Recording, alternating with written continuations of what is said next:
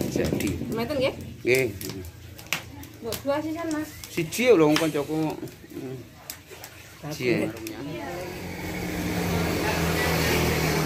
warung ayam panggang Buparni Ploso Oh Pelem Wonogiri pokoknya maknyus langganan saya nih tiap mudik silakan datang ke sini wisata kuliner khas Oh Pelem Wonogiri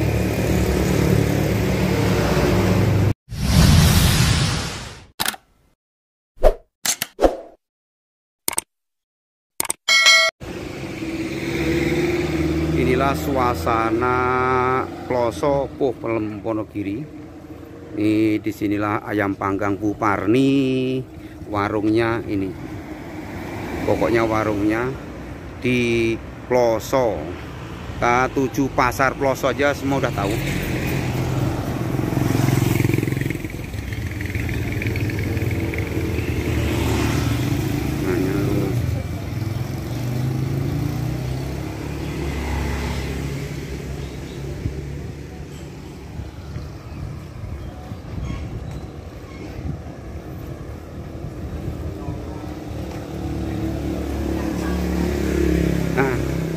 ini ownernya yang punya ayam panggang ini. Ini anak yang nomor dua.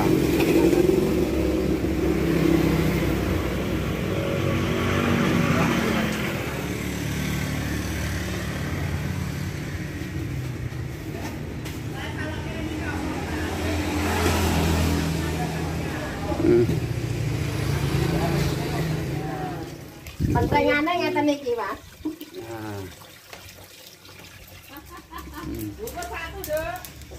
Sekarang kita intip dapurnya ini proses ayamnya dari mentah sampai akan jadi matang ini proses masaknya masih menggunakan kayu bakar jadi secara tradisional itu diungkep pakai ditungku dengan kayak kereweng dari tanah ini.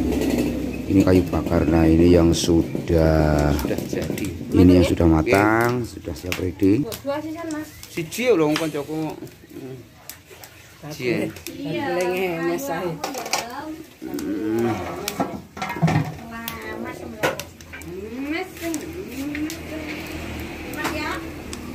Halo? Lah kancaku butuh siji. Ini suasana ruang tempat makannya. Selain ayam panggang juga ada lele goreng. Ini ayam panggang sebesar ini 120.000. Ini ada lele goreng, pecel dan kering tempe.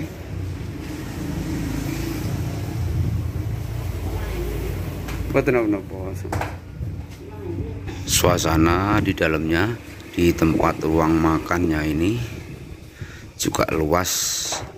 Sekarang sudah dibuka. Jadi di belakangnya ada view Gunung Bleko persawahan. Jadi ini anginnya masuk semilir makan di sini enak sekali. Suasananya enak ayam panggangnya juga enak. Jadi komplit plit nih luas sahabat Inbrato channel inilah edisi vlog saya mudik. Wisata kuliner di kampung saya. Nah lokasi warung ini berada di Pasar Ploso Desa Popelem Kecamatan Popelem Wonogiri Jawa Tengah. Gampang carinya. Oke sekian dulu sahabat Infrastruktur Channel edisi vlog wisata kuliner saya edisi mudik di kampung halaman. Sampai jumpa, sampai ketemu di video-video berikutnya. Terima kasih sahabat Infrastruktur Channel.